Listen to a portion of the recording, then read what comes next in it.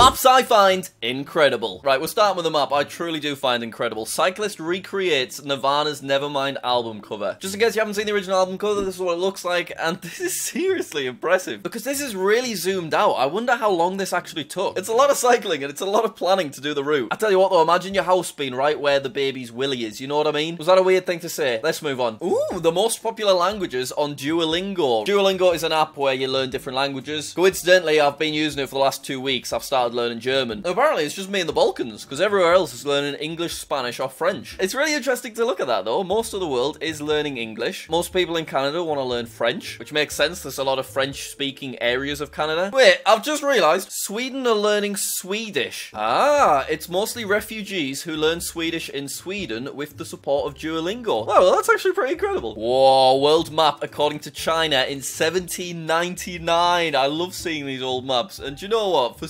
1799, it's pretty accurate, isn't it? Their scale is definitely off, though, when you compare the size of Africa to the size of, like, Indonesia and Malaysia. Percentage of Europeans who would fight for their country. So in the UK, only 21 to 40% of people would be willing to fight for their country. Do you know what? I'd be in the 15 to 20%. You think I'm fighting somewhere on behalf of Boris Johnson? I don't think so. The lighthouses of Europe. This map is insanely accurate, with each dot being the right colour. The patterns are the real patterns, and the size of the dot representing the visible distance of each lighthouse. Oh my god, so much data. That is mad. I tell you what, Norway are not messing about with their lighthouses. That is one well-illuminated coastline.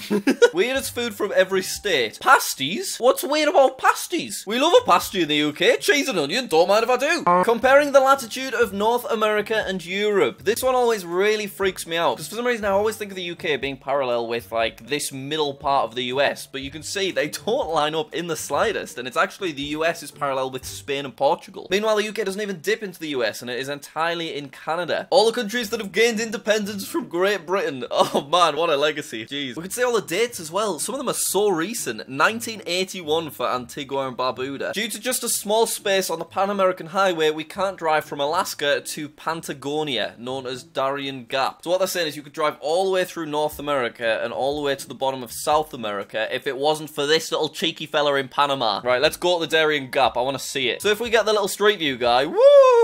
We literally hover over. You can see exactly where the road stops, and that's exactly where I want to go. Oh my god, it's so much more built up than I was imagining it. Yeah, for some reason I was thinking it would be like right just in a rainforest in the middle of nowhere, but I guess there's a small village in front of the rainforest. Have we done it? Have we reached the end of the road? Yes, we literally have. We can't go down there. We've just got some benches and a few houses and stuff. You could walk further down though. I wonder if you could walk it. You just couldn't travel by car. It's a national park. It's probably just completely off limits. The hidden continent of Zealandia, outlined in grey. Deep under the ocean, there is what's considered a continent. It's so much bigger than New Zealand. What is it? Some like tectonic plates or something? I don't know. You scale map slash model of my grandfather's farm in the Victorian High Country? Oh my god, that's adorable. Go on, son. Look at that. You've nailed that. Look at the little sheds and stuff. What? US counties without a single African American? I cannot believe that. I know they look like small squares, but that is a lot of land. That is, what? Walking time of the European microstates. So to walk from the westernmost point to the easternmost point of Andorra, it would take 14 hours. So that's what I mean about these tiny countries. You think to yourself, we're absolutely tiny. It'd take you 14 hours to walk across it. Okay, so Liechtenstein, 4 hours. So that is considerably smaller. Right, we're going to get smaller and smaller. San Marino would take us 4 hours. See, that really surprises me. I've just always thought San Marino was tiny. Right, hang on. What's next? Monaco? It'll be Monaco, I assume. Yes, that's right. It'd take an hour to walk across the entire country. Alright, and then last is Vatican City. Let's predict it. I'm going to say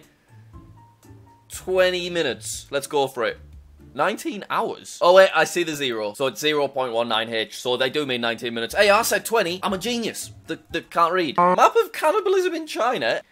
Bloody hell. The thing is, there's no concept of time here. So we don't know if most of these happened a thousand years ago or, you know, Tuesday. School uniforms around the world. So the yellow is where you have school uniforms for the majority of the schools. And then the blue is where it's not common to have school uniform. I did not realise that in Europe, the UK is actually a minority and most countries don't have a school uniform. I expected it in the US, obviously, because I've watched many an early 2000s high school US chick flick.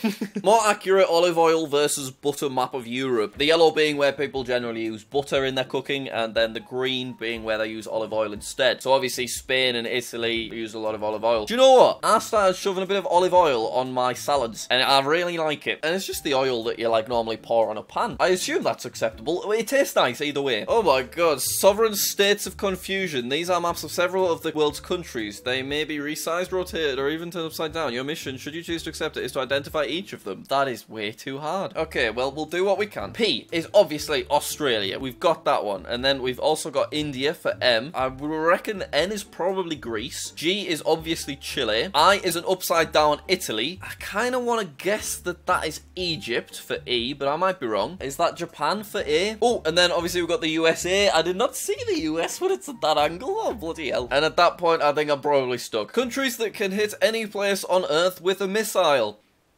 Alright, brilliant. Reassuring to know. Thanks. There's a spot in the mid-Atlantic from which there are 60 countries that can be sailed to in a straight line. Ah, oh, because the Earth's round. That is the coolest thing I've ever seen. Look at that, you're right there, and then you go, you're in the US, or you go, when you're like just at the tip of Chile. Oh, bloody hell. Or if you want to get particularly crazy, you go, and then you pop out the other side over in Vanuatu. What a dream.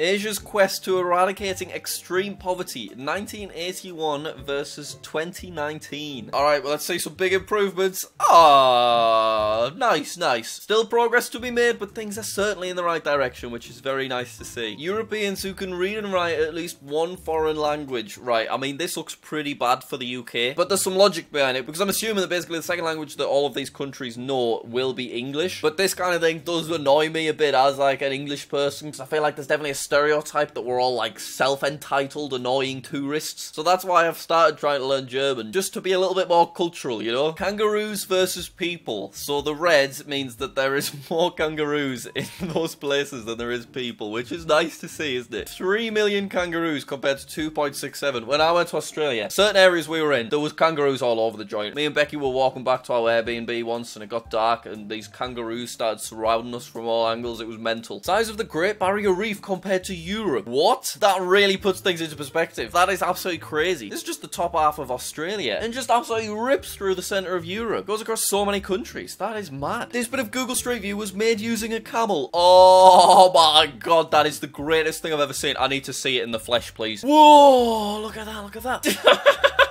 Look at the camel, he's got the camera strapped on his back. Oh my god, we're in the desert. That's insane. Where are we? It's United Arab Emirates. Oh, that's insane. Look at that. That looks mad. New Zealand as the center of the world. Oh man, I love these things. It doesn't look like everything's included, but obviously it is because they just line up on either side. There is just not much going on over here, is there? Is food a human right? The US was the only country to say no.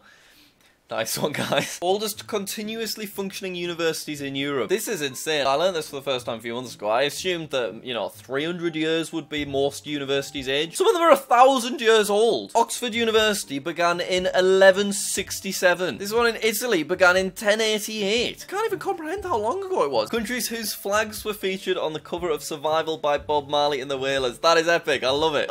Oh, countries with territorial disputes with China. Right, not great. the most searched news site in each state. Yahoo! Who's reading stuff with Yahoo? It's 2022. What are you doing on Yahoo? I'll see Yahoo News. Alright, and on that note, I'm going to end off this video. Thank you so much for watching. Subscribe for weekly geography related content, and I'll see you later.